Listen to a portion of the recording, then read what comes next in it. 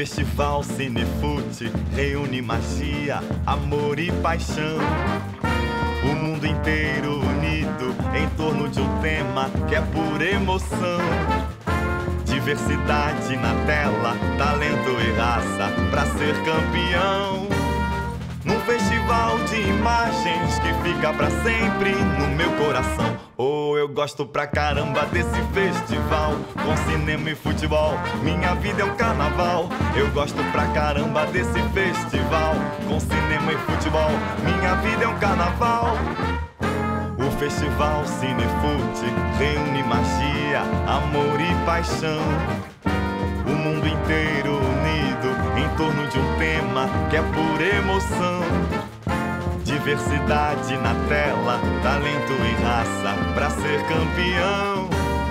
Num festival de imagens que fica pra sempre no meu coração. Oh, eu gosto pra caramba desse festival. Com cinema e futebol, minha vida é um carnaval. Eu gosto pra caramba desse festival. Com cinema e futebol, minha vida é um carnaval.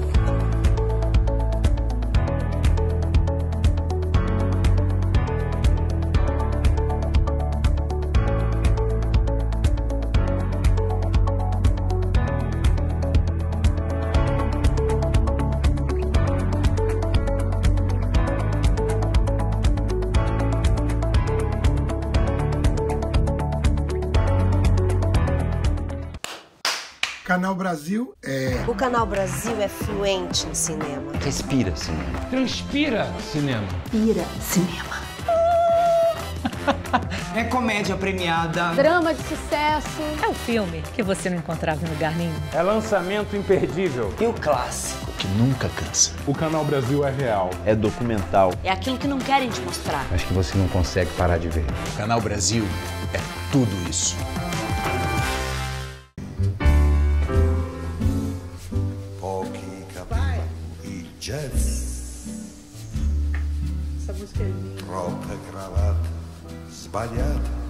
Olá, sejam muito bem-vindos para esse nosso encontro muitíssimo especial de hoje, uma homenagem ao nosso saudoso e querido Maurício Capovilla, ou simplesmente o nosso querido Capô. Começo lembrando da nossa edição número 1 do Cinefute em 2010, quando convidamos o Capô para ser o nosso homenageado daquela edição e recebemos um sinal positivo com enorme entusiasmo da parte dele. Assim. E lembro que foi uma sessão memorável com a exibição dos Subterrâneos do Futebol. É, muita conversa sobre o cinema, sobre o futebol, juntando tudo isso e só reforçando que o nosso homenageado atuou com maestria dentro de campo, vestindo a camisa do juvenil do Guarani de Campinas, sagrando-se campeão pelo Guarani e atuou muito mais fora de campo com a sua carreira exuberante no cinema. Portanto, Capovilla foi o homenageado ideal, perfeito para o Cinefute, um festival inédito naquele momento, unindo cinema e futebol, foi o homenageado perfeito para essa nossa primeira edição. Nenhum outro homenageado poderia aliar cinema e futebol de maneira mais fabulosa como ele. Por isso, repito que é um grande orgulho poder honrar o nosso primeiro capitão do Cinefute no dia de hoje.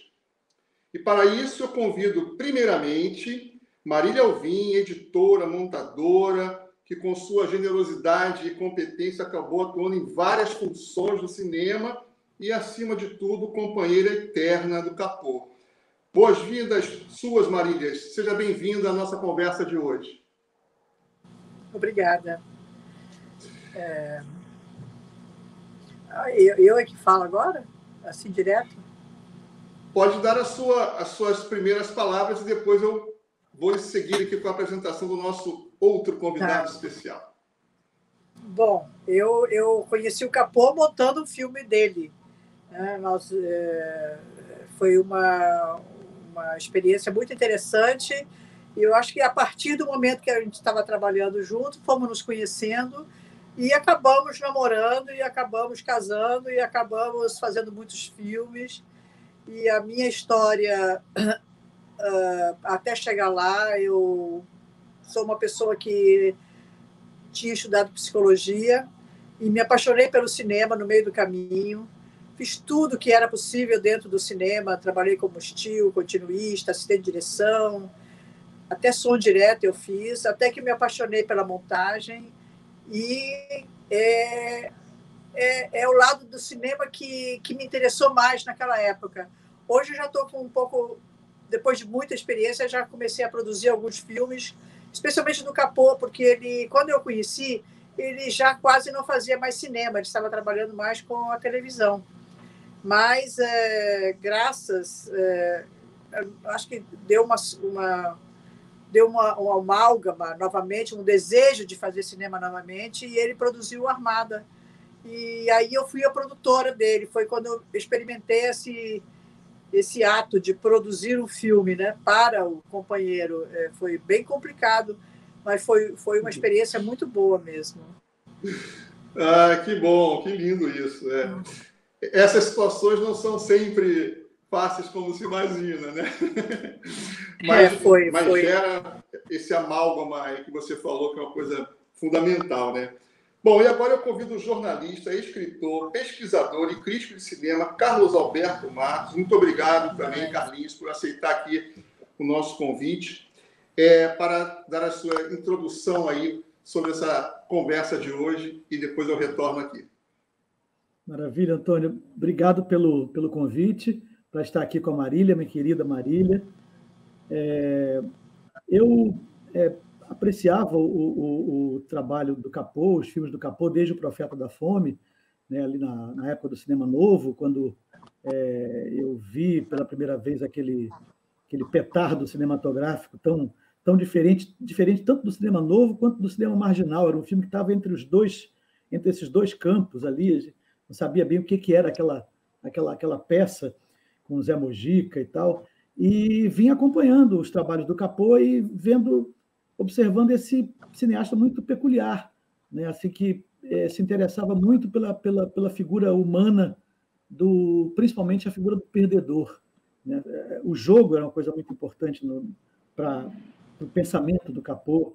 Tal, e depois, mais adiante, eu tive a oportunidade de estar com ele e a Marília, conviver melhor para fazer esse livro aqui, né, o, o Maurice Capovilla, A Imagem Crítica, um livro que a gente fez juntos para a coleção Aplauso, e foi quando eu me, me, me interei mais do, do, trabalho do Capô, da obra dele, da personalidade dele, que era uma, uma figura de uma, ao mesmo tempo, de uma modéstia, de um talento incríveis e muito camarada, muito amigo, uma pessoa simples, divertida, é, super amável, e que foi muito bom conviver com ele enquanto foi possível. Você era o HD da memória dele. Ele, ele, sempre, ele sempre procurava seu livro para se lembrar de alguns fatos que às vezes ficavam meio esquecidos. É verdade. Quando nós fizemos o livro, que é um livro biográfico, né, um livro autobiográfico, essa coleção Aplauso toda é de realizadores, cineastas e gente de teatro, que é, conversava com um jornalista, que então recolhia suas impressões sobre a carreira, etc., e produzia um texto em primeira pessoa, quer dizer, como se fosse uma autobiografia. E, e foi muito bom é, estimular o Capô a lembrar das coisas é, lá do início da carreira, né? uma carreira muito atravessada pela questão do jogo, mas principalmente do futebol. Né? Não é à toa que ele tem um filme chamado Jogo da Vida, né? que jogo e vida para ele era uma coisa, eram duas coisas que se atravessavam, tinha muito a ver uma coisa com a outra, né? E então foi ótimo é, é, é, perceber o papel do futebol nessa carreira e na vida do, do Capô, né? Queria primeiro assim ver o que você lembra, como é que era o Capô é, em casa com o futebol. Ele era alguém que via jogo, que todos, torcia, que se interessava? Todos os jogos. Eu tinha um programa especial no computador, no celular, que eu via todos os jogos que aconteciam no mundo inteiro, realmente. E ia dando as dicas para ele e a gente gravava os jogos quando ele não podia ver no horário. E uhum. era muito. Eu realmente fui uma assistente fantástica de jogos para ele. Além de ele ser um torcedor fanático do Flamengo, ele também gostava, se apaixonou pelo o Barcelona, ultimamente, né, os últimos, hum. mas ele era assim, qualquer jogo, ah, não era qualquer jogo, jogo bom, né? Ele não gostava de jogo ruim. Então, às vezes eu tinha que procurar naquele estava muito bom aqui. Teve uma época que tá, todos os jogos do mundo inteiro apareciam na televisão, né? Às vezes, e ele acompanhava todos e gostava disso e fazia fazia. Eu me lembro também quando, antes disso, aquele famoso jogo de futebol que você marcava quem ganha, quem não ganha, é, é, da, da, loteria esportiva, loteria esportiva. Né? Sim, sim, Aquele também era um estudo profundo, realmente, eram dias e dias de, de, de pesquisa. Ele adorava realmente futebol. Agora, você falou uma coisa que eu gostei muito, quando você juntou jogo e vida, né? Realmente, uhum. porque, você pensar bem, a vida do Capô é um, bocado estranha, né? Um cara do interior, de Valinhos, uhum. garoto de rua, praticamente, que andava de cavalo na pele, é, é e, pra, e, e se escondia para ver os jogos no campo quando era criança que foi estudar filosofia em São Paulo. Né? É, foi jogar primeiro futebol é, quando adolescente, e depois foi estudar filosofia, uma mudança completamente radical. Radical, é. É. de jogador de futebol. Tanto é que um dos melhores amigos dele virou jogador de futebol. Eu realmente não me lembro o nome desse amigo dele, lá de Valinhos também. Uhum. E, e, de repente, me sai um, um, um, filósofo que começa a fazer cinema. Né? Uhum. É, dizer, ah, muito, muito é interessante a vida. É. é. É uma história é, muito, muito curiosa. O, o, o Capô, quer dizer, as pessoas não sei se todo mundo sabe, o Capô foi jogador de futebol também, né? Desde as né? peladas, as peladas de várzea que ele jogava em Valinhos lá com ele tinha dois primos que eram craques, parece que eram jogavam bem é, melhor. Eles, ele. É, foi craque, né? É. Foi, né? Pois é, eu foi. acho que Écio, se não me engano, um tal de Écio, que era um, um dos primos Realmente, dele. eu não me ligo muito. Eu sou uma pessoa que é. não entende futebol, não consigo ver direito futebol. Para mim é muito complicado. Um monte de homem jogando com as pernas, realmente. Acho estranho. Correndo, correndo, atrás de uma bola, né? Um negócio correndo estranho, né? Bola. E aí e joga para cá e joga para lá, realmente, para é. mim é um, é um esporte que eu realmente não, não, não sou fã, realmente. Não sou, uhum. Porque eu não entendo. Tênis, Sim. que são só dois, eu consigo entender. Aí dá para acompanhar. Mas, eu gostava muito de futebol. Eu gostava muito de futebol quando era garoto, ia ao Maracanã, acompanhava, fazia futebol de botão, campeonatos de botão sozinho em casa. Eu era os dois times, enfim, mas é. Mas o, o Capô, ele aos 12 anos, ele estava no Infanto Juvenil do Valiense, né, lá, lá em Valinhos. Depois ele foi para o Juvenil do Guarani, de Campinas, onde foi campeão. E o Chegou apelido dele, o apelido dele era Flecha. Flecha. Flecha. Olha, é. porque ele era muito franzino, e, e, mas corria muito, né? Tava no, jogava no meio de campo, ele era center half. Center ele half. manteve esse físico realmente até o fim da vida, né? Magrinho, ágil. É. Ágil, é. E, e, muito, e é uma coisa que. É, mas, realmente ele é, ágil. Tanto é que a dança dele, quer dizer, hoje, na, quando ele largou o futebol, ele trocou o futebol pela dança. Pela dança. É, porque... é isso aí. Ele é começou verdade. a praticar mais a dança do que o jogo de futebol.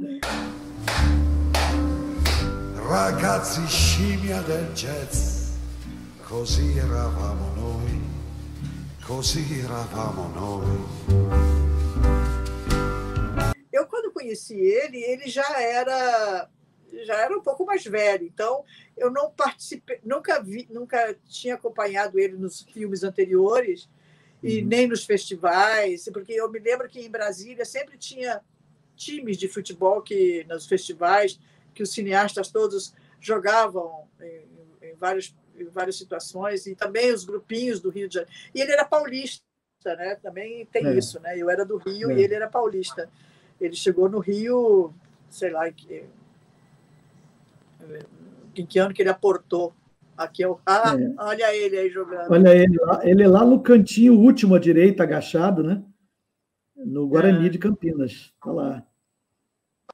No Infanto Juvenil do Guarani de Campinas. Maravilha. É, o Capô, depois ele chegou a jogar no Fluminense, em 1953. Ele, jogar não, ele treinou no Fluminense nas Laranjeiras, em 53. É. Ele esteve a um passo de se tornar um jogador profissional e, sei lá, nunca chegar ao cinema, né? O que, que seria, é, né? Eu fico imaginando como é que. É. É, quem seria o Capô se ele tivesse sido um jogador de futebol, né? Mas ele ia se dar mal, né? Ia se dar mal, provavelmente, porque ele foi um boê, ele era um boêmio também, né? Gostava boêmio. muito de dançar, e beber, e namorar, uhum, e uhum. nessas coisas todas. Então não ia dar certo. Ele ia ser pior que o Garrincha, eu acho. Ia, podia ser um gênio, mas não ia dar certo, realmente. Não ia dar certo. Ia acabar pobre, fudido, sei lá. Como cineasta, também, na verdade, também não foi. Era um cineasta mais, é, mais da, como você diz, gostava dos perdedores, né? Eu acho que ele tinha é. uma, uma, certa. Era, a dramaturgia era, era melhor, né? A dramaturgia dos perdedores é sempre melhor do que a dos vencedores. Então, ele sabia disso, é. ele tinha esse olho. Né? Mas ele, ele, você falou que ele torcia desesperadamente pelo Flamengo. Ele era Flamengo no Rio de Janeiro, né? mas em São Paulo ele foi Palmeiras na adolescência depois ele foi Guarani na juventude, e depois foi Santos, quando ele estava adulto é, já. Né? Quando ele fez o subterrâneo do futebol, ele era Santos, tanto que ele acompanhou, o subterrâneo é. do futebol acompanha a campanha do Santos em 64. Né? Tá lá o Pelé e tal, os jogos do Santos que ele filmou e tal, né? Mas como eu só fui conhecer o Capô nos anos 80, já é, era, era Rio de Janeiro, eu só vi mais o lado Flamengo mesmo. Uhum, é. Mas... Pois é, o Capô ele, ele, ele passou pelo, pela escola de, de documentários do Fernando Birri, né, em, na, na Argentina, Junto em Santa com o amigo dele, o Herzog, né? Junto com o Vladimir Herzog e tal. E, e, participou do primeiro grupo que montou lá a Caravana Farcas, o que hoje se chama Caravana Farcas, né? É. É, onde é, da qual participa o, o Subterrâneo do Futebol como um dos quatro curtas que foram lançados juntos no cinema com o título de Brasil Verdade. Né? E lá com o Farcas, com o, o, o Thomas Farcas, que era esse baiúngaro, eu chamava o Farcas de baiúngaro, porque ele era um húngaro, nasceu na Hungria, mas ele era completamente, a alma dele era baiana, era de um baiano, era um babalorixá baiano. Então ele chamava ele de baiúngaro.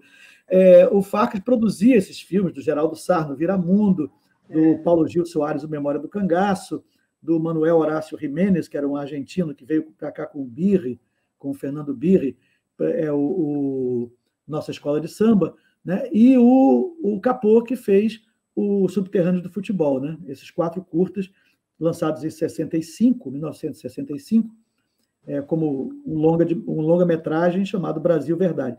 E ali o, é, o Capô, acho que é o primeiro passo do Capô nessa área do, dessa conexão entre cinema e futebol né, o subterrâneo do futebol, que passa uma imagem, eu acho que muito problematizada do futebol. Né? O subterrâneo do futebol é um é. filme que problematiza, ele é quase, ele é quase negativo. É quase é, negativo. Eu acho que ele se, talvez ele tenha feito esse filme um pouco para para se para se explicar por que, que ele não fez futebol né? uma coisa assim eu hum, não fiz sim. eu mudei eu mudei de área porque eu vi que eu, se eu entrasse, eu entraria nessa área de, de, dos, desses personagens que ele focou tão bem. Né, trágicos, né? Do... É, trágicos, Alguns é. até trágicos, né? Porque ele fala da, é, é, da, Você tem ali três personagens, né? O, um jogador, um craque iniciante, né? O que é o Feijão, o Luiz Carlos de Freitas, que tinha ficado famoso porque num papel ele tinha feito o papel do Rei Pelé, do Pelé no filme O Rei Pelé, do Carlos Hugo Christensen, é, no, no, um pouco antes, então ele estava com uma certa fama por causa disso, Feijão, é, mas era um craque que estava ainda sonhando com, com o sucesso no futebol e tal. E você tinha o Pelé, que era o ídolo no auge da fama, né? tinha sido bicampeão na Copa do Mundo de 62, 58 e 62, e tinha o terceiro personagem, que era o Zósimo, né, o Zósimo Calazans, que também era um campeão, mas estava em decadência né, por uma acusação de suborno. Né? Então, esses três personagens faziam um arco, né? o sonho do atleta jovem que espera conseguir tudo na vida com o futebol, o ídolo que está no, em pleno sucesso, e o outro que está decaindo numa cidadezinha do interior, já meio que abandonado pelo sistema, porque tinha sido acusado de suborno. Então, é um filme que trata muito dessa utilização política dos jogadores, né, pelos, pelos cartolas, pelos dirigentes, né, o jogador como uma espécie de mercadoria, né, e, e a escravização do jogador, o problema das contusões, das excursões que separavam o jogador da família por longos períodos, né, é, as, as, diferenças de, de, padrões de salário né, entre o, o, o cara famoso e o, e o principiante, enfim, eram vários jogadores dizendo assim: não é bom ser jogador de futebol. Até o Pelé dizia que não era bom ser jogador de futebol no filme, né?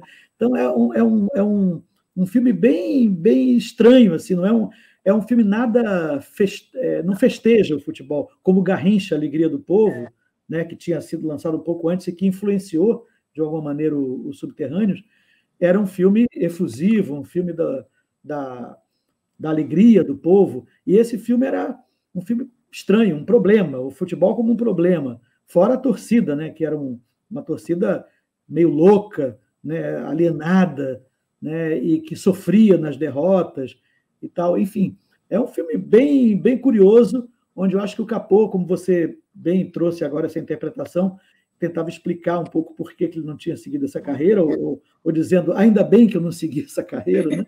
Não, tem um outro fato também, Carlinhos, é que ele, ele era comunista naquela época, ele fazia parte. Eh, eh, então, acho que tinha uma mentalidade também de querer é, mostrar o que, era a realidade hum. dos jovens brasileiros também, né? Da, da, das oportunidades e, e, do uso desses jogadores como, como, como se diz, como carne para ser consumida, uhum. sei lá. É. Uma, uma, coisa assim meio... Eu acho que foi uma, uma, uma abertura, assim, é, é, dentro da, da, da do que ele acreditava que era o mundo, o que tinha que ser, o que poderia ser, né? Uhum. Ele, ele jogou em cima desse filme. E depois nos outros longas dele também, né? que sempre ele olha essas pessoas que não são que não deram certo, que poderiam ter dado, mas que não dão certo, que têm sonhos, uhum. né? Isso. É... é, o jogo da vida, né? Que, é. que é o pessoal da sinuca também, é. que são os caras que estão achando que estão é, baseado no livro do João Antônio, né? O é, Malagueta, Perus e Bacanaço, é, o nome do livro é estranho para o intérprete de Libras, é Malagueta, Perus e Bacanaço, é, que deu o filme O Jogo da Vida, que é sobre jogadores de sinuca que estão achando que vão que são o máximo e são, na verdade, otários, né, que estão sendo é, levados pra, passados para trás o tempo todo. É, que a temática é sempre a mesma, né? De uma certa maneira, né?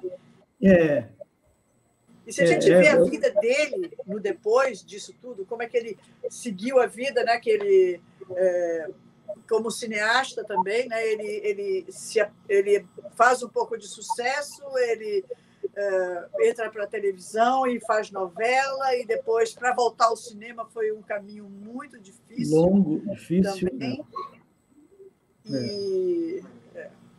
É Agora, ele era muito apaixonado apaixonado por documentário, né? Nas escolas Sim, de cinema que ele trabalhava, ele adorava a, a parte que, que tocava o documentário, né? Acho que é uhum. interessante isso nele também, de ver a realidade sempre, né?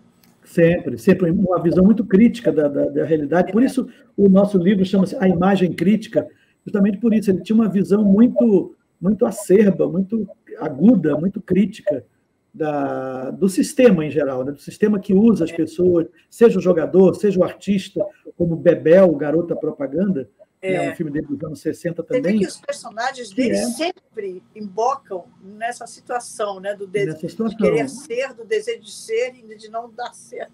E não dar certo, não, não conseguir. É, é incrível. O, o, Armada é um filme que o último que ele fez, né? o penúltimo dele, né? antes é. do, do é um filme de, de, de retorno também, né? de alguém que está retornando como personagem do, do Paulo César é. Perello, Né? É. é alguém que está voltando depois de um longo período fora do, do, da produção, fora da atividade artística, está retornando como ele estava retornando também, né? É. E, e, e, com alguma e coisa a, dizer sobre esse período. Mas é um final, é um, um, final poético, né? Porque não tem uhum. final, né? Quer dizer, aquela é, é, é simbólico, né? É simbólico sim, sim. e você não sabe realmente. Provavelmente ele não ia se dar bem também, eu acho. É, é. Mas o, voltando ao, ao subterrâneo do futebol, né? É, isso também é um filme que é muito importante do ponto de vista da história do cinema brasileiro, da história do documentário brasileiro, né?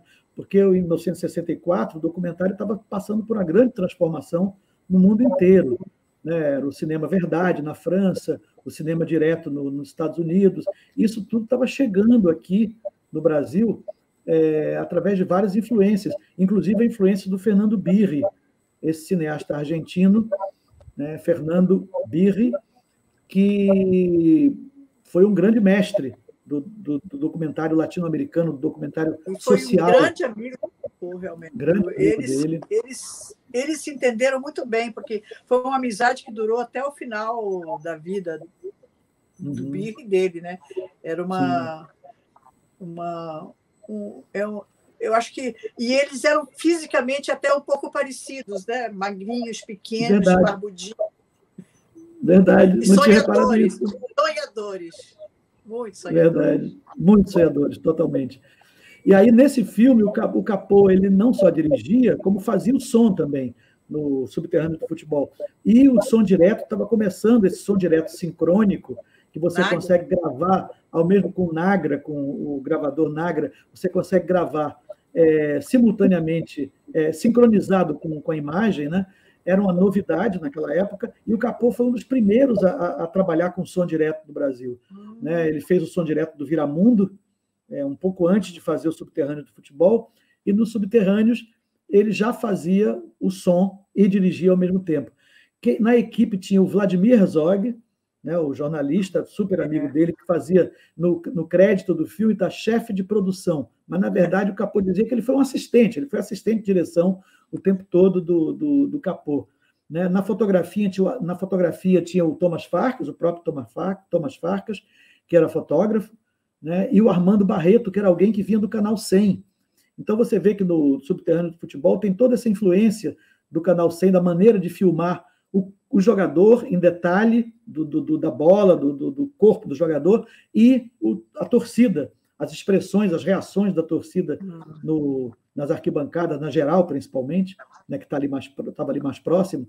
E essa, essa experiência do Canal 100 está incorporada no, no Subterrâneos através do Armando Barreto, que era o, o fotógrafo junto com o Farca. Interessante, é. é. Né? Você tinha uma narração todas. Agora eu me lembrei também, Carlinhos, daquele é, hum. quando ele foi filmar a Copa, a Copa do Mundo lá na Argentina com o Paulo 78. César Saraceni, e uhum. que eles se dividiram, né? O Paulinho fotografava os vencedores, dirigia os vencedores, e o Capô dirigia os perdedores, os times que perdiam. Olha, realmente Isso. ele é, não, é... bem delineado mesmo, né? É verdade. É, nessa, é. nessa Copa, nessa Copa de 78, o, o era incrível, porque o, o, o, eles tinham que dividir o trabalho, eles não sabiam como dividir o trabalho, eles acabaram, acabaram combinando dessa forma que você falou. O, o, o Capô acompanhava os perdedores e o Paulo César Saraceni acompanhava os vencedores daquele cada partida, né? Para cobrir. E é um filme também político, né? O Copa 78 é um filme político também, em que é. meio que denunciava a, a situação do, do, do povo na, na, Argentina sob a ditadura do militar. Esse filme né, não saiu, né? Saiu pré-montado de uma outra maneira, com de outra, maneira. Você Exatamente. deve saber mais do que eu, realmente.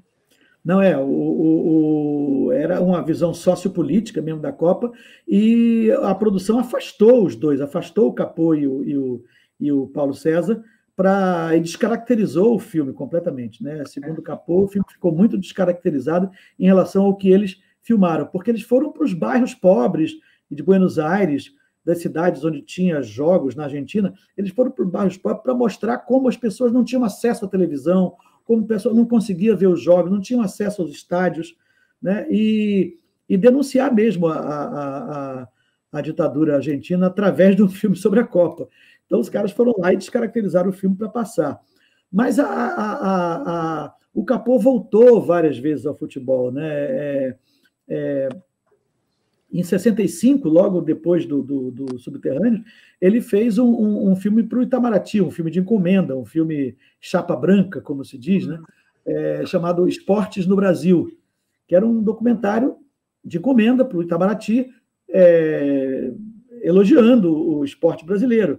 Né? Então você tinha Garrincha, Pelé, tinha Maria Esther Bueno, a tenista, tinha o boxeador Éder Joffre, tinha o Ademar Ferreira da Silva, o, o atleta.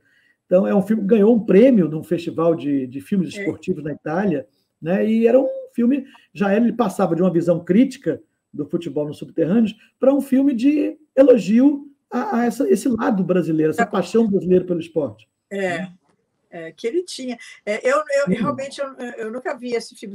Eu não, não esse filme tá, existe? Está em algum lugar? Você pode ver? Nunca Olha, vi. Eu, eu, eu acho que na época que a gente estava vendo o, o, fazendo o livro, eu acho que eu vi o filme. Eu não sei se eu tenho aqui uma ah. cópia. Eu vou procurar para ver se eu, se eu tenho, mas eu acho que eu vi esse filme na época do livro. Hum. Sim. Né?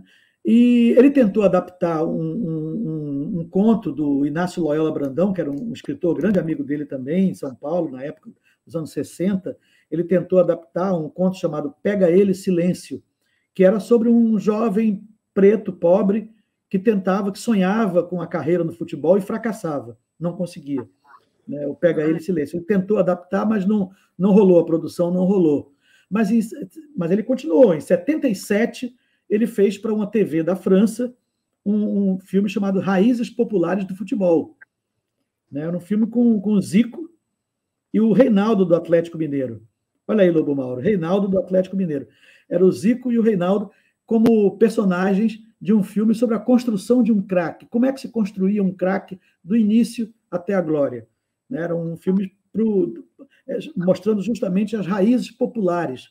E que ano que foi esse filme? Porque isso foi em 77, 1977. Eu tenho que ver esse filme. 77, o auge do Reinaldo. Reinaldo. E é. contra a ditadura.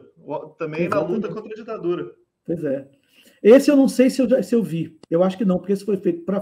Porque França, eu me lembro pra... vagamente, porque ele ficou amigo do Zico. Deve ter sido daí uhum. desse filme, né? Que ele tinha. É, é. Depois... Volta e meia ele falava alguma coisa sobre o Zico, ia fazer a escolinha, filmou ele lá depois e outras coisas, porque ele trabalhou na manchete. Isso fazendo algumas coisas e deve ter usado, quer dizer, eu ouvi falar, entendeu? Ouvi falar não, com certeza.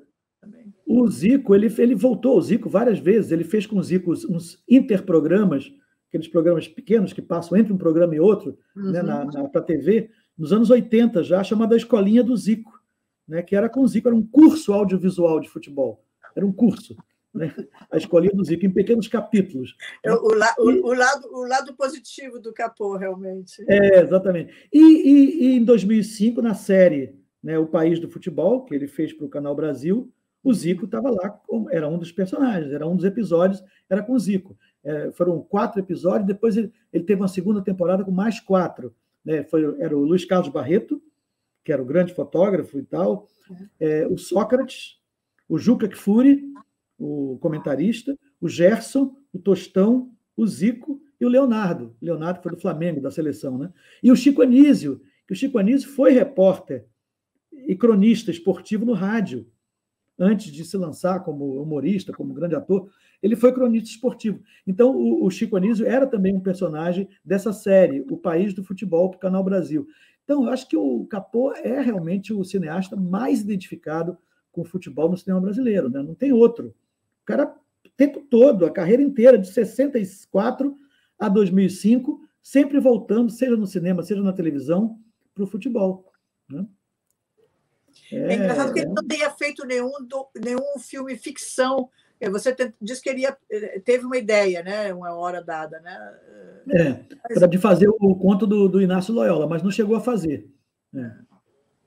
Sabe que é muito difícil filmar é, futebol na ficção? É muito difícil, gente. Não, é difícil é, também. quando não é, quando é ficção, é difícil montar. Eu, eu já peguei um pedaço desse. Montar, imagina. É, como é que deve ser? aliás, aliás, era isso que eu queria saber.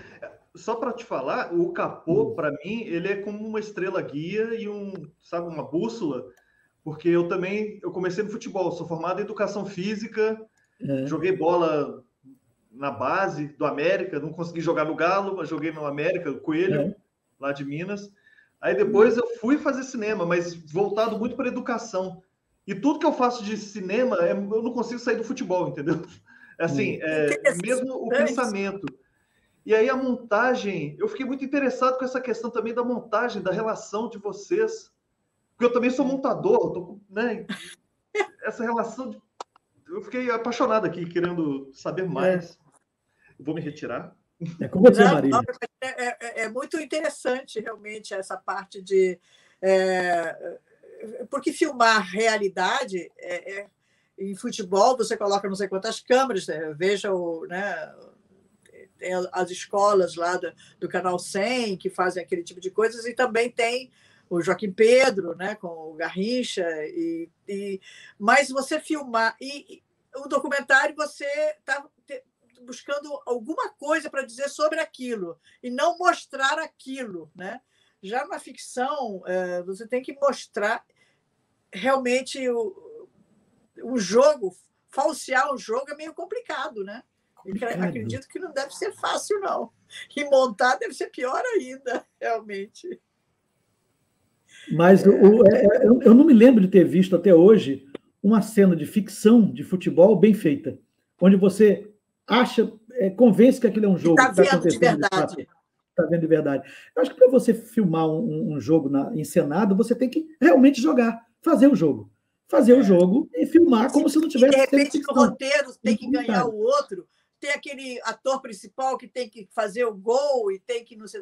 Bom, sempre existem maneiras de você inserir certas cenas no meio de alguma coisa, né? Mas é interessante mesmo, porque é, é um, como eu disse, 11 pessoas de cada lado é complicado, realmente. É complicado. E é todos aqueles olhares, de vez em quando eu ficava aqueles olhares, né? Quando o jogador olha para a pessoa e aí o outro vai correndo do outro lado. É, é interessante, eu acho, mas eu não, não consigo realmente.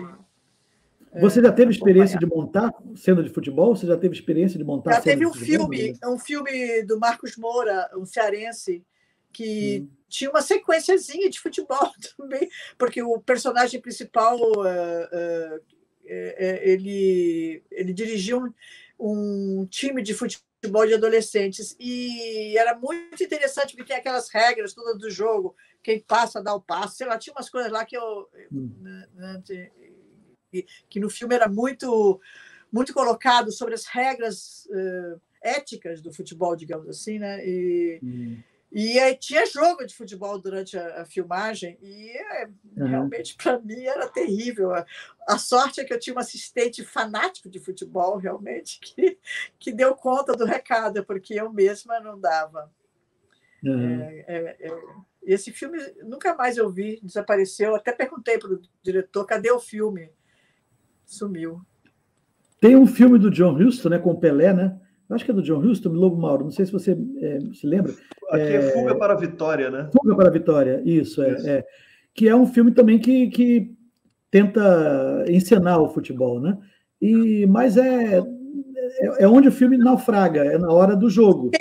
Também tem um filme de futebol, eu, eu me lembro que eu vi. Tem, de um treinador. Mais é. de um treinador, né? Mas é muito focado é. na, na, na, figura do treinador e não é, e é focado do jogo. Nas angústias, si, né? na, na, coisa toda. Uma, não havia o é. jogo, havia o personagem com suas angústias. Isso. Vagamente é, me lembro isso. É, é.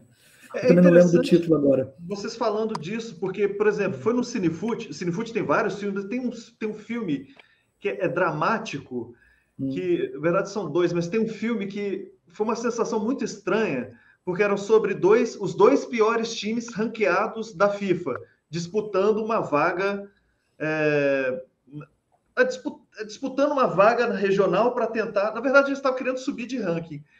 E aí tinha um que era, acho que era Samoa, Samoa americana, tinha, que, tinha uma rivalidade, e eles contrataram um técnico fora. Mas era um documentário, e aí no final é, teve um grande jogo, porque esse, esse time sempre perdia e teve um grande jogo no final. Eu estava na sala do Cinefoot, foi o filme de encerramento, e aí a gente começou a torcer. a, a, dramaticidade. Teve uma bola do adversário que manda, a bola vai e vai. A plateia começa, meu Deus! Eu vi a plateia fazendo isso como se estivesse assistindo ao vivo. Eu fui um dos. e a bola bateu na trave, saiu todo. Uh. Eu fiquei assim, caramba. Acho que foi um dos únicos filmes de futebol assim que eu me senti na arquibancada de fato, porque não, a gente não sabia o resultado e era um documentário, Sim. né? Ou seja, a filmagem era, era o jogo, era o jogo. Era o jogo. É, é. Agora, a ficção, Exato. eu nunca cheguei nesse ponto de. Né? É, pois é. Tem, é, é, muito difícil. É, é, é como você também encenar uma cena de sexo, né? É, é ou você faz o sexo e, e filma, e, ou você finge, aí não, não, dá tesão. Entendeu? Então, o futebol encenado realmente não dá tesão. Né? É um dos grandes desafios. É, é verdade. Mas o, o Capô, é, é, ele tinha um, um, Quer dizer, o futebol para ele era algo, algo além né, do, do, do, do esporte, ou do jogo, ou da diversão. Né? Era uma coisa que tinha muito a ver com a, com a vida e com o funcionamento da sociedade. Né? Então, é, ele falava essa coisa do o, o, o futebol, você tem que é, conciliar o coletivo com o individual, que é um grande desafio da vida, né? do, do, do, do cotidiano. É. Você, ao mesmo tempo, você pensar como indivíduo e você não perder de vista o coletivo. É. Né? As regras que é. estão aí, né? As regras que estão aí muito claras, todo mundo conhece para serem seguidas, né? E então é, é, é, um, é uma coisa muito. Eu gostaria até de ler, se for se for possível, dois parágrafos do livro é, em que o Capô fala em primeira pessoa sobre o que ele pensa do futebol. É, ah. eu, vou, eu, vou, ler aqui de uma maneira mais é, clara e lenta para que o nosso tradutor consiga passar. É Ai, é seguinte, ele diz assim: o futebol, penso eu, é um espelho da sociedade, da sociedade. Assim como estamos perdendo uma maneira brasileira de fazer filmes, isso ele dizia em 2006, estamos deixando para trás uma forma brasileira de jogar. As escolas de futebol estão imprimindo uma ideologia de destruição em vez de criação. Hoje, os meninos aprendem, sobretudo, a impedir o jogo do adversário. Daí não surgirem mais Pelés ou Garrinchas, expressões puras da invenção, capazes de desmontar, eles sim, qualquer defesa. Parece-me clara essa metáfora de que esse país está sendo formado para brecar, sustar o desenvolvimento da criatividade. Em lugar do craque, temos a celebridade e o culto, do, o culto ao dinheiro. O futebol é igualmente um núcleo de produção simbólica. As regras estão aí há mais de 100 anos e todos as conhecem. Elas dão origem a um padrão de convivência dentro do campo, com espaço tanto para o individualista como para o sujeito que trabalha em função do outro.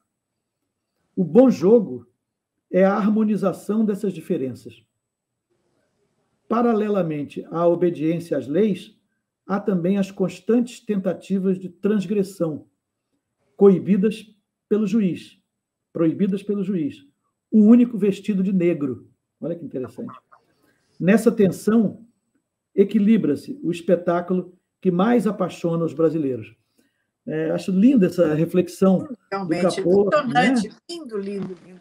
Aproximando o, o, o futebol da vida, da, da, do funcionamento da sociedade, e como um, um exemplo de, de alguma coisa que, que transborda né, o estádio e vai para o cotidiano, para a vida. É muito bonito. E aí entra um pouco o filósofo, né, Marília? É. Lindo. Olha, é emocionante, eu emocionei aqui. Se eu chorar de vez em quando, não se preocupe. Imagina, imagina. Pois é, mas o, o fora isso, o, o Capô é, foi alguém que também era muito apaixonado por música, né?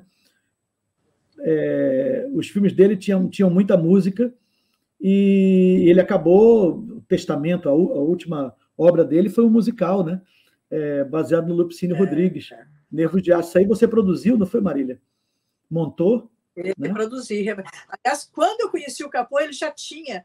Eu tinha, a gente tinha muitos discos de Lupicínio e, e eu era apaixonada também pelo Lupicínio. Então ele começou a escutar todos os discos do Lupicínio e começou. Estava no começo do relacionamento e ele começou a juntar, a, queria fazer um diálogo com as letras, né? Dizer, hum. e, e, esse filme foi indo, ele, olha, ele demorou uns 20 anos para fazer o filme, mais ou menos, até concretizar a ideia que ele tinha de fazer esse filme, né?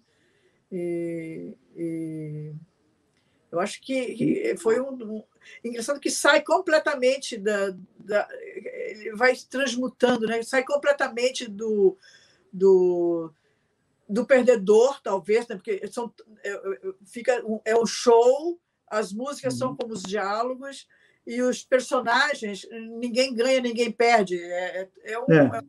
é, uma, é interessante isso dele ter sido o último filme dele.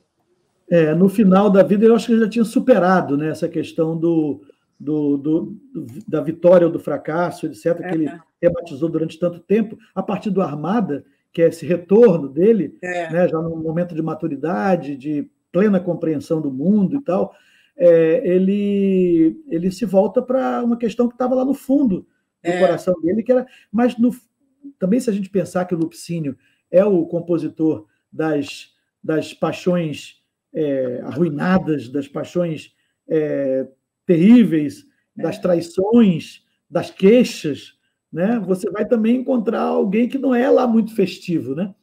O, Nada. Né, o nervo de aço é aquele. É, o cara está ali sofrendo por causa da mulher, um triângulo amoroso também, é. né, em que tem um perde-ganha. É, aliás, é um quadrilátero amoroso, né? É um quadrilátero o nervo de aço, porque tem os, o, o, o Arrigo Barnabé, o Pedro é. Sol, disputando a, a moça, a moça né? e tem a, a, a produtora, a, produtora que também está de olho na moça, também, né? Então é, são quatro personagens ali rodando, girando e, e as músicas costurando toda a história. É, é, é um barato. Eu acho que é uma, uma super invenção, que é um filme show e ao mesmo tempo é um melodrama, um melodrama amoroso e tal, muito bacana. E eu acho que é, é, é isso, é o cinema, o futebol e a, e a música como expressões populares, né? como expressões da alma popular. Né? O, o, o, o Capô, no, no, subterrâneo, Subterrâneo do Futebol, tem um momento em que o locutor, a locução, que é uma locução do Antero de Oliveira, que era um, um, um ator é, do Teatro de Arena, inclusive, o Antero de Oliveira, que narra o Subterrâneo do Futebol, é uma narração totalmente anti-espetacular, né? uma narração para baixo, perfil baixo, quase que conversando com o espectador, não tem nenhuma, nenhuma efusividade, não tem nenhuma celebração, não tem nenhum glamour, é uma narração baixinha, para quase que triste. É, tem uma hora que ele diz que é, é, é ele fala do futebol como essa estranha paixão é, dos brasileiros, né? Então, é, é essa paixão estranha que toma conta dos brasileiros, né? diz ali o, o, filme. Então é, é isso, é, ele estava interessado sempre nessas paixões, né? do, do, a paixão pela vida, pela sobrevivência, pelo futebol, pela música. Né? Pelo desejo de ser, né? É, de ser alguma futebol, coisa, de conseguir é, essa coisa. coisa que você leu do Capô, né? Da, que é uma, é uma coisa individual e coletiva ao mesmo tempo, né? Como uhum, você... Uhum é, é, combinar essas duas coisas, né? sem se trair. Né? Isso. Muito bonito aquele texto que você leu do Capô, viu? Fiquei, é, muito realmente. bonito. Ô Marília, é, e você, você é, continua vendo o jogo sem o Capô? Não. Não, não, né? não, infelizmente não. Mas uma coisa aconteceu. Quando eu comecei é, a namorar o Capô, eu, eu tive. Eu, aconteceu alguma coisa que eu entrei, eu tive aquele negócio de pânico, né? Comecei a ter hum. pânico, e eu tinha que viajar, às vezes com filmagem, ou ia para o festival, ia para algum lugar, e a única coisa que me acalmava é, era colocar eh, na televisão um jogo de futebol.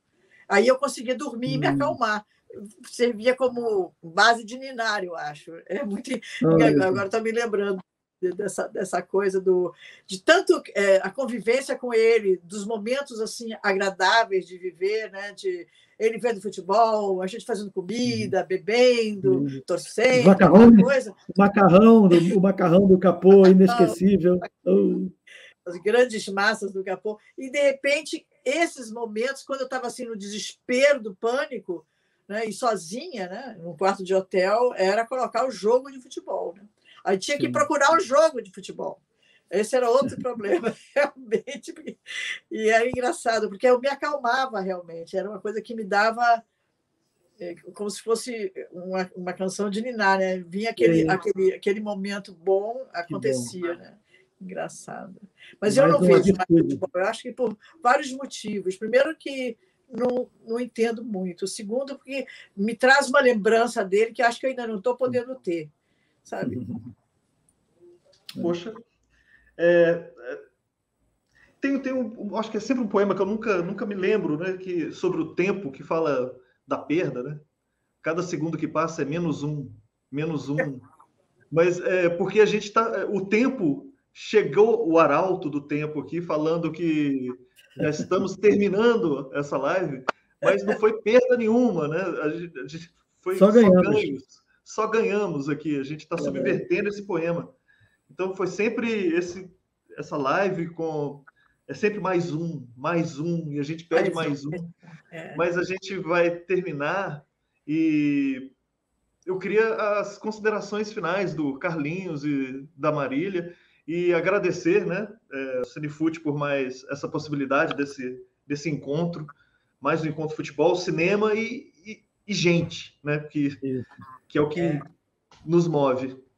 Então, Exatamente. Então, fico. Quem... Eu, eu falo Vocês primeiro decidem. que o Carlinhos encerra melhor do que eu, entendeu? Carlinhos poeta. É, é, eu sei que eu, eu, eu, eu, gostei muito de participar, de assistir alguns. Esse primeiro Cinefute, né? Eu vi tanto filme legal sobre futebol, mas coisas tão interessantes. Eu acho que essa ideia do Antônio de fazer esse Cinefute me bateu, porque era uma visão que eu, por exemplo, tem uma visão meio assim, troglodita, né? Quer dizer, não me emociono, então, mas os filmes que fazem sobre o futebol são emocionantes, realmente. Os documentários que eu vi realmente me deixaram. Continua nessa, Antônio, você está no caminho muito bom, realmente, e mostra mais filmes e mantenha isso. Eu Dessa vez eu vou assistir os filmes, todos. que ótimo. É, não, acho que, que é isso. É, o, o, Cinefute nos ajuda a, a, a compreender o que existe por trás né, e para além do futebol. Olha o capô. Olha o capozinho. Na homenagem. O primeiro Cinefute, ele foi homenageado no primeiro Cinefute em 2010. É, eu tenho a placa, é, o gol de placa que ele ganhou é uma. É uma, olha uma... Aí, ele aí, recebendo. Oh. É. Bacana. É. Grande, Grande capô. capô. Olha aí Ai. vocês dois ali no, na, no jantar, no, na homenagem. É, na minha... É. Oh, vamos lá. Mas, Isso é, no Lamas? Era no Lamas, né? É. Eu, eu pois daqui é, eu... não consigo ver realmente. Eu ainda não fiz a operação de cataratas, não enxergo nada realmente, só com lupa. Mas é isso, o Cinefute nos ajuda realmente a não só a, a, lembrar de figuras maravilhosas como Capô e tantos outros é, que fizeram essa junção entre o cinema e, e, o futebol, mas nos ajuda também a, a ver o que existe para além da, da, das quatro linhas, né, como diz o outro, é, em termos de paixão, de é, significados tantos, né, e, e, como o Capô bem disse, é, é uma, uma algo que pode nos ensinar muito sobre a vida. Né? O é. futebol pode nos ensinar muito se a gente sabe ver, se a gente sabe observar o que está para além do, do gramado, né? Então, foi um prazer, Marília, estar com você mais uma vez aqui. É sempre bom estar contigo. Você também, Carlinhos. Tá? E sempre com o pessoal do Cinefute. E com o Antônio, com o Cinefute. E vamos participar. Dessa vez eu vou. Quero ver mais filmes. Vou acabar me apaixonando por futebol, quem sabe, né? Até jogando, não, acho que não, né? Ai, ai. Nunca é tarde para começar, Marília. Eu sei, eu sei. É, realmente, deixa eu ver aqui que eu, eu, jogadora vai ser difícil, né? Mas é, espectadora, como espectadora já está muito bom, né? Já tá bom, é. Bandeirinha, que fica ali só no, na beira do campo. Então, foi lindo. Um beijo a todas e todos. Adorei. Foi muito bom, realmente, gostei. Beijo, Capô, onde, onde quer que você Grande esteja. Capozinho. Beijo, Capô. Beijo, Capô. Tchim, tchim. Sotto le stelle del jazz. Ma quanta notte è passata. Marisa svegliami, capraccia. È stato un sogno fortissimo. Le donne odiavano il jazz.